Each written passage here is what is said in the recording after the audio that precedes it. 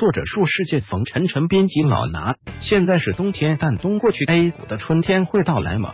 一月二日，A 股二零一九年的首个交易日，继续了此前一年的萎靡走势，三大股指集体遭遇开门绿，或者说是开门黑。正所谓绿得发黑嘛，这样一来，李大霄或许已冷汗不断，因为他的两千四百四十九终极大底正在接受大 A 股的考验。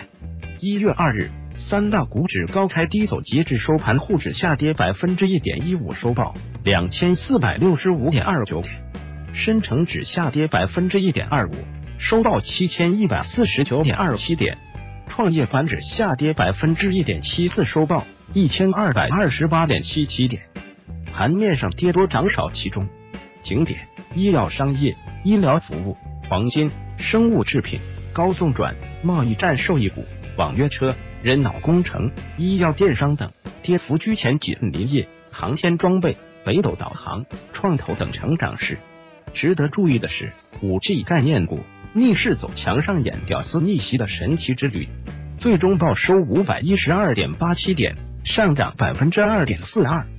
自两千零一十六年以来，李大霄相继提出钻石底、婴儿底、幼儿底、儿童底等言论。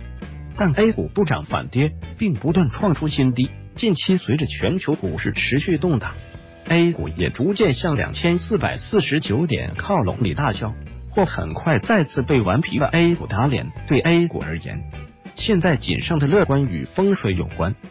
据业内人士统计，A 股有逢八必跌、逢九必涨历史逢八的年份：一九九八年、二零零八年、二零一八年。指数分别下跌百分之三点九七、百分之六十五点三九、百分之二十四点五九。逢九的年份：一九九九年、二零零九年。股市都是上涨的，分别上涨百分之十九点一八和百分之七十九点九八。或许股市的春天真在十九年。关注更多上市公司相关信息，请你布置公众号世界 ID Sparkle Live。